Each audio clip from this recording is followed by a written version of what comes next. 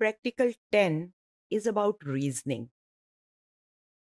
Three of the cognitive processes that are very important in real life are reasoning, problem solving, and decision making. Now, all the approaches to problem solving and decision making and the experiments that have been conducted in experimental psychology, we have already studied.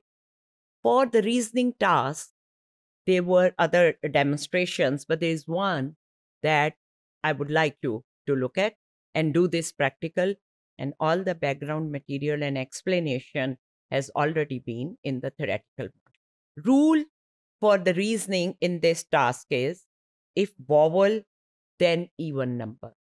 करना आपने ये है कि आप जितने लोगों को चाहें ये प्रॉब्लम पेश कर सकते हैं but they should B not repetition like उनको आप दोबारा नहीं पेश करेंगे। और उनको एक ही बात कहनी है, इसको आप हमें ये बताएँ कि कौन सा कार्ड उल्टा करूँगा तो ये रूल वेरीफाई होगा। If vowel, then even number. तो वो आपको यकीनन कहेंगे कि ई करेंगे और फोर करेंगे तो रूल वेरीफाई हो जाएगा। इसमें ट्रिक है, वो ये कि आप अगर सेवन उठाएँगे और उसके पीछे वॉवल होगा, तब वॉवल नहीं होगा, तब ये रूल सही वेरीफाई होगा।